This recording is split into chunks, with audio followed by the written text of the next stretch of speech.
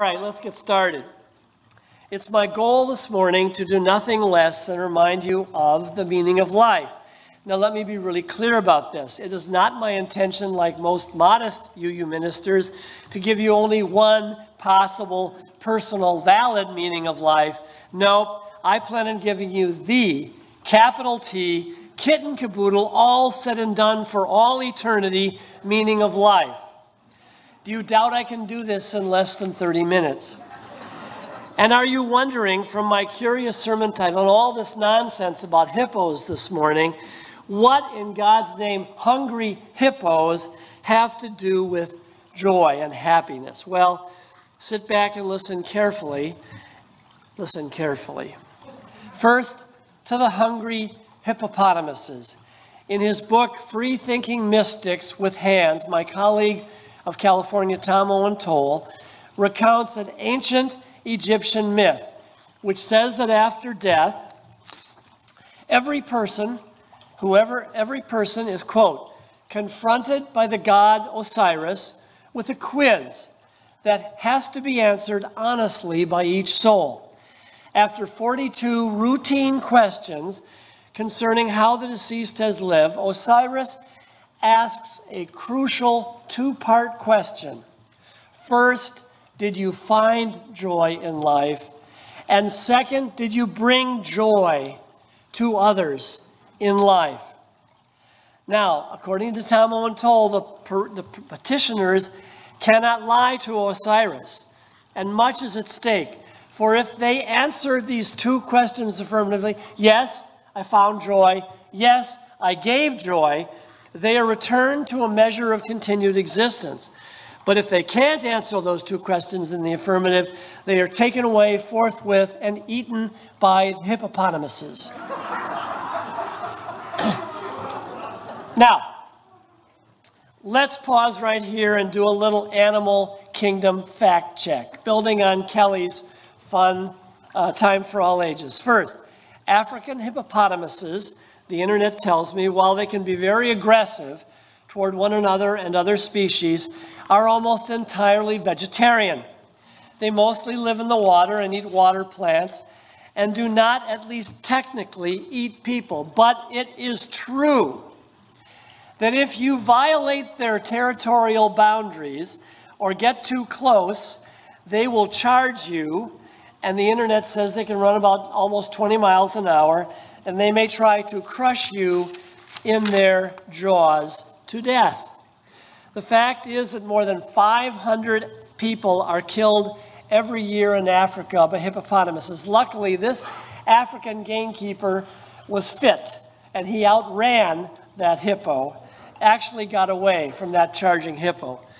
But the point here is that hippos, otherwise known as river horses, in case you were ever tempted, are not to be messed with. They are very dangerous animals. Stay away. So, technically, this ancient Egyptian myth has it all wrong. Hippos don't really eat people, they just try to kill us. But that bit of nuanced animal science is really uh, beside the point. I love the point, the spiritual point of the myth. As Tom Owen-Towle says in his book, reflecting on this ancient story about Osiris and the questions, this old Egyptian myth teaches a valuable lesson about joy and the purpose of life. Note that the emphasis on one's ultimate fate is not, Owen-Towle says, on what we produce or our possessions, not even on our creative talents or our good works. The purpose of our earthly journey, according to ancient Egyptian religion, is simply this Did you find joy for yourself? Did you take pleasure and satisfaction in life? And did you bring joy to others? Were you kind and generous to those around you during your earthly sojourn? Now, I've been a UU minister for almost 50 years. And in that time, I've heard many articulations about what the true meaning of life is. And I have to tell you that I think this simple, old Egyptian answer is as close to perfect as I have ever heard. Upon reflection, I do in fact believe that a, eh, that a deceptively, as, as deceptively simple as it first sounds, we are in fact put on this earth to find joy for ourselves, not be miserable, and in the same breath, as much as you are able to bring joy to others, to give generously to others that they may be happy and fulfilled. All right, so let's start with the first half of this spiritual equation finding joy for yourself. This, I think, begs the foundational question what exactly is joy, and how do we know if we have it in our lives? You know, joy, I think, is not some sort of obvious, straightforward commodity or state of being that we can define once and for all with absolute precision. Here's what my dictionary thinks Dictionary definition of joy a feeling of great pleasure and happiness, pleasurable feelings or emotions caused by well being, gladness, and great delight. Hmm, okay, that's pretty straightforward, isn't it? And I think I know what joy feels like in my own life. I had a lot of joy and heartfelt pleasure last weekend when I was with my extended family in Wisconsin, sharing meals, biking together through the rolling countryside, playing with my nephew's twin boys, and staying up late, laughing our way mostly through decades of old family memories. I was blessed with a lot of real personal joy last week. And in addition to recognizing my own joy when I'm in it, I think I can recognize it in the lives of others when they are in a state of joy. But surely joy is a mystery that manifests itself in a thousand ways and differently from individual to individual. I mean, there are quiet joys and boisterous ones. There are physical joys, spiritual ones, intellectual joys. There are momentary, fleeting joys, and there are sustained joys that can last for hours, even days. Joy is a mysterious, personal, and often fleeting thing. But most often, most of us, like Potter Stewart, the Supreme Court Justice, who said, Pornography, I know it when I see it. Uh, joy, I know it when I feel it. But let's get back to the Egyptians and those hungry hippos. At first, this dualistic suggestion that the purpose of life is to find joy and bring it to others um, may seem a little contradictory and paradoxical to hold those two thoughts at the same time.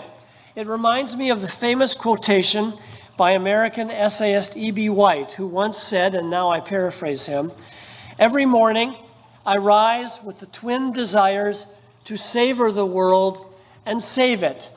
This makes it hard to plan the day. But in fact, I think that taking and giving joy savoring and saving the world are two sides of the same valuable spiritual coin. That only in conjunction with one another do they, in fact, together give our lives their meaning and joy. As I thought about it, I realized that our ability as persons to take joy and find joy for, for ourselves is inextricably and spiritually and emotionally bound up with our ability to give and create joy for others. And here's how I think the equation works. I made this wonderful flow chart in my office the other day. The flow chart of joy, receiving joy for yourself and giving joy to others, it feeds on itself as a cyclical system. Knowing how to open yourself to joy is directly connected to knowing how to give it to others. If you don't, and the reverse is true, if you don't know how to give joy to yourself, you will never know how to create it or share it with others. So, what at first might seem like purely selfish pursuits, taking joy, savoring the world, privately enjoying your own life, privately enjoying meals and family, are in fact the very things which empower and energize us to selflessly care for and nurture life and persons around us. This is the great truth which Jesus of Nazareth understood deep to his heart when he famously affirmed, Love yourself. I'm sorry, I got this wrong. Love your neighbor as you love yourself. Jesus didn't say, Love your neighbor, then take care of yourself. He said, Love your neighbor as you already love yourself. Jesus knew you have to love and take joy in your own life before you can ever bring joy and love to others. So I will assert that knowing how to enjoy your own life is a spiritual prerequisite for bringing joy and gladness to the world around you. Another way of saying this is joy begins at home and then spreads outward from that interior wellness to the world. Now, a lot of religions, particularly conservative ones, are very hesitant to affirm this truth. And that is that it's a good a spiritual thing for people to take joy and pleasure in their own lives. Some of you perhaps grew up in religious communities or religious families where joy and pleasure were basically seen in negative, selfish terms. Theologian Matthew Fox who was once a Roman Catholic priest but was officially silenced by the Pope for a full year. And by the way, the day after his a year of silence, he got up before a crowd and he said, Now, as I was saying when I was so rudely interrupted,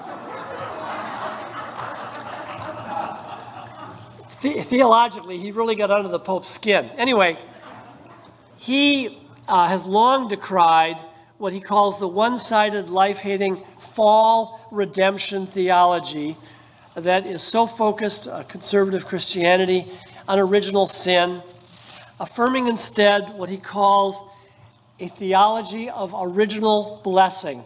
And he wrote a book on that. Uh, you can buy it on Amazon Original Blessing by Matthew Fox.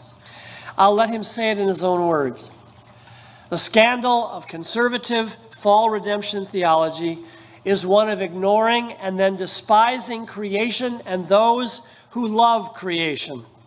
Fall redemption theology has ignored the blessing that creation is because of its anthropomorphic preoccupation with sin. The result has been, among other things, the loss of pleasure from spirituality. And with, with this loss, the increase of pain, of injustice, of sadomasochism, and of distrust. And then he goes on creation centered mystics, as well as in the Jewish tradition, have, on the other hand, always begun their theology with original blessing, not original sin. Knowing life is an original blessing is about enjoying life's basic gifts. And then he concludes by affirming we must learn spiritually how to take joy in our lives. If creation is a blessing and a constantly original one, then our proper response would be to enjoy it for God's sake. We human beings must learn the art of savoring. Pleasure is one of the deepest spiritual experiences of our lives. Ecstasy is the experience of God. In any case, with these ideas about the spiritual value of taking unstinting joy from life are anathema to conservative religionists who frown on singing, dancing, sexuality, and almost anything else which feels good. They certainly strike, this original blessing idea strikes a spiritual chord with us Unitarian Universalists. Our positive life affirming tradition has always first celebrated and affirmed what is right and lovely, beautiful, and joyful about this creation, and there is much of that.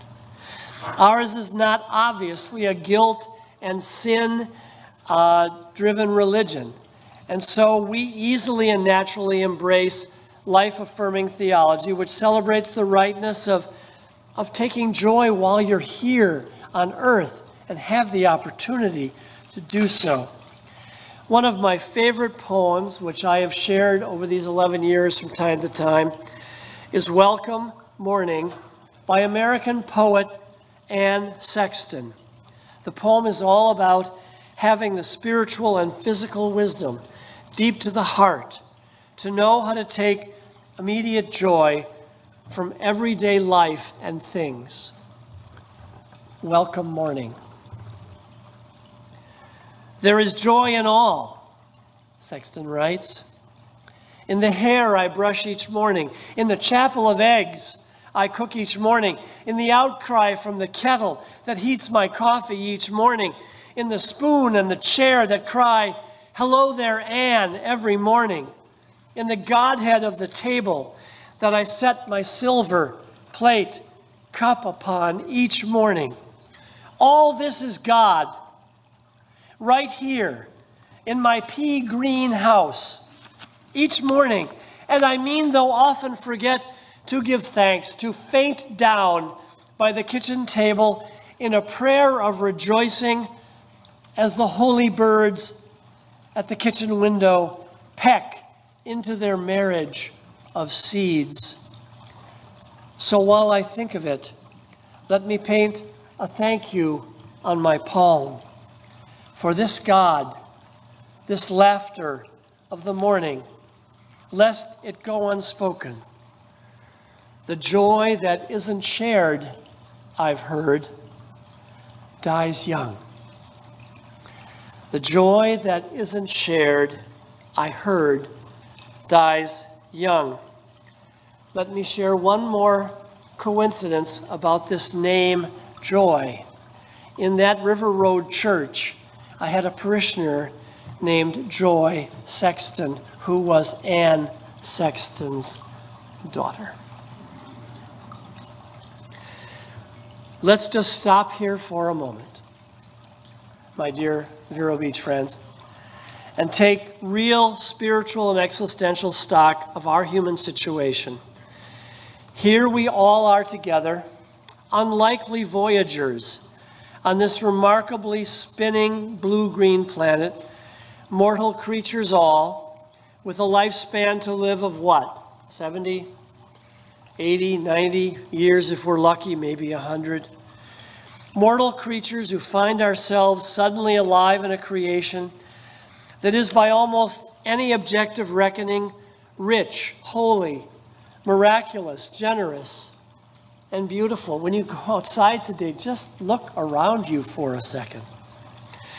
What then, as the ancient Egyptians knew, could be of greater spiritual importance than knowing from the inside of our hearts out, uh, inside of our hearts out, how to take joy, how to copiously and unstintingly take joy on a daily basis from the ordinary fabric of our lives. What could be more important than opening our eyes first in the morning and taking pleasure at what is quietly around us? The soft yellow sunlight faithfully working its gentle way through the bedroom blinds.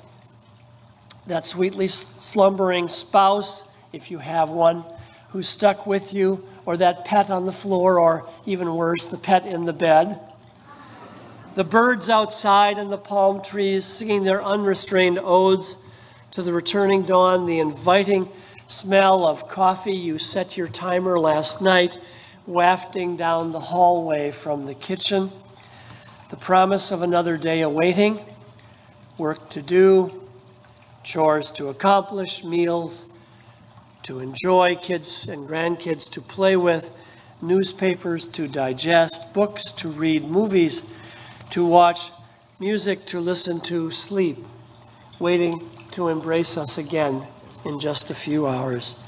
We imagine the gods have more, but they do not have access to any miracle greater than our children or grandchildren gleefully playing in the backyard, than a simple supper of spaghetti and good wine, cheap red, shared with old friends, then a sunset cast in red and orange billowing against the clouds on the horizon. They have no greater joy than crawling into crisp, clean sheets on a bed that will hold us safely until the next dawn. I have to tell you the truth, dear friends. All is spiritually lost. Life's great meaning is lost totally lost if we do not know how deep to our hearts to gratefully welcome these simple gifts of living, these holy treasures that are ours in ordinary days. The Egyptians didn't exactly say this, but I will.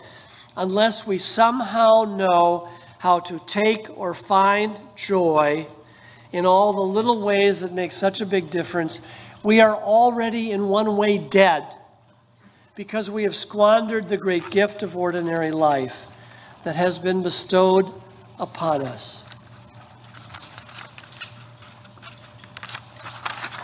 Listen to African American, I'm sorry, American poet Jane Kenyon, who reminds us that this life is in fact a fleeting gift that we do not have forever. I got out of bed on two strong legs. It might have been otherwise. I ate cereal, sweet milk, flawless peach. It might have been otherwise. I took the dog uphill to the birch wood all morning. I did the work I love. At noon, I laid down with my mate. It might have been otherwise. We ate dinner together at a table with silver candlesticks. It might have been otherwise. I slept in a bed, in a room with paintings on the wall, and planned another day just like this day. But one day I know it will be otherwise. Just a few months after she wrote these words, she came down with a cancer that would quickly take Jane Kenyon's life. One day it will be otherwise. This is why, if we know the true meaning of life from the inside out, we must have the spiritual and emotional wisdom to seek and take joy and to do it frequently. Every day we find ourselves because we all know someday it will be otherwise. So take joy now, dear friends. Open your eyes and your ears and your heart to the original blessing of the life that is yours. You know, life is supposed to be fun. Do you, do you all remember that? Life is supposed to be fun. I had a minister say that once to me. There were three of us working at the River Road Unitarian Church, and we were going through a conflict. And she said, Scott, you know, church is supposed to be fun. Life is supposed to be fun. But as the ancient Egyptians wisely knew, just taking joy privately for yourself is, of course, a tragically incomplete spiritual and existential plan. If you are to find the full and finest and completest meaning of life, you must not forget, not even for a moment, of the other essential spiritual half of the Egyptian equation that being to give joy to others. If you're going to successfully avoid those hungry hippos, you must give joy and create opportunities for pleasure for others. As I suggested earlier, even though it may seem counterintuitive at first, I believe the spiritual impetus to give joy to others is clearly rooted in your ability to first know how to take joy for yourself. Every joyful person I know, every last one of them, is naturally generous toward others. Joyful people who are truly grateful for what they have seem to work from what we call an abundance model as opposed to a finite, you know, a limited model.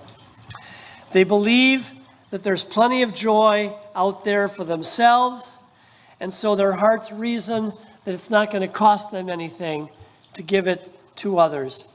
I believe joyful people have a kind of natural empathy that almost compels them to give, to be joy givers as much as they are joy takers.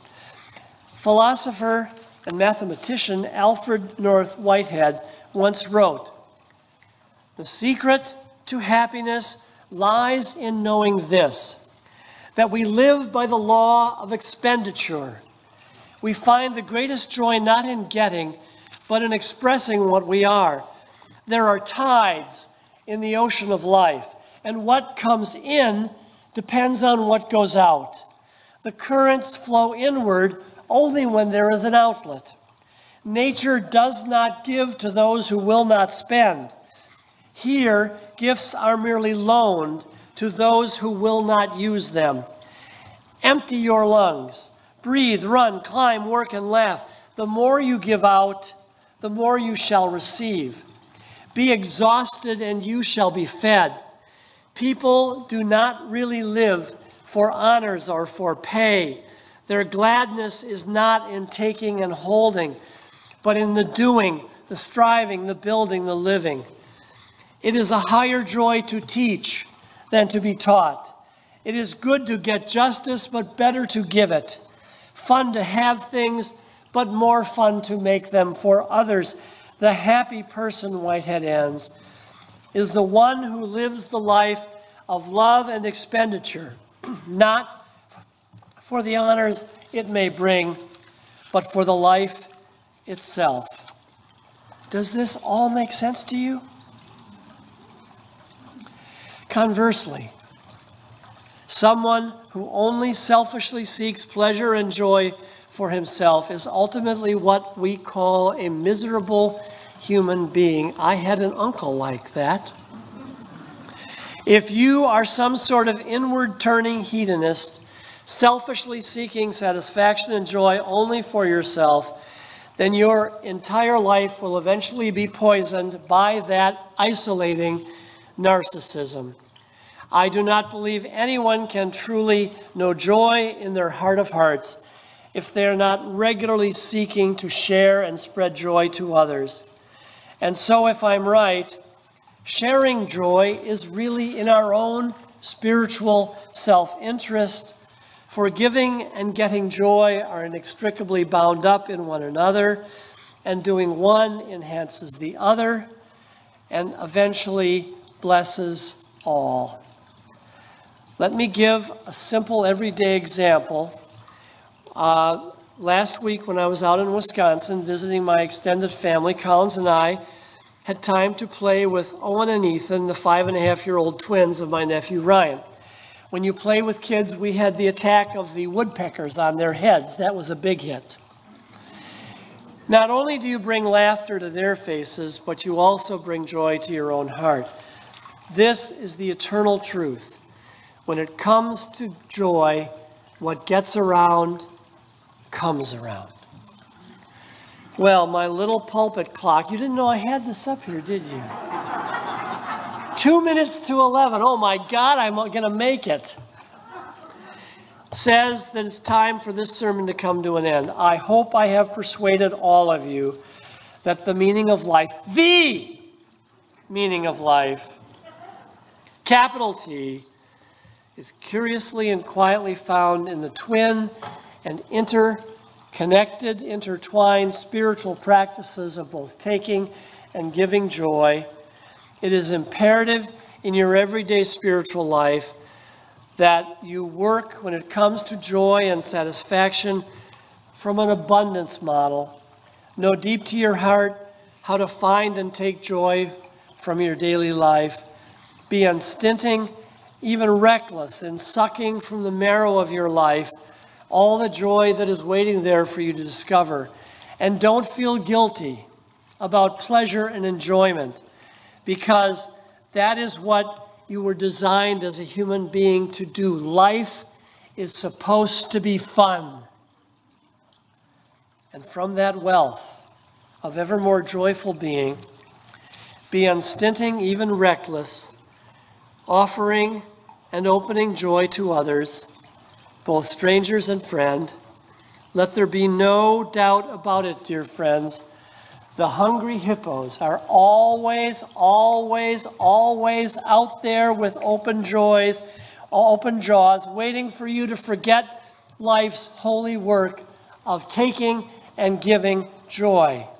So don't you dare forget life's holy work taking joy and giving it.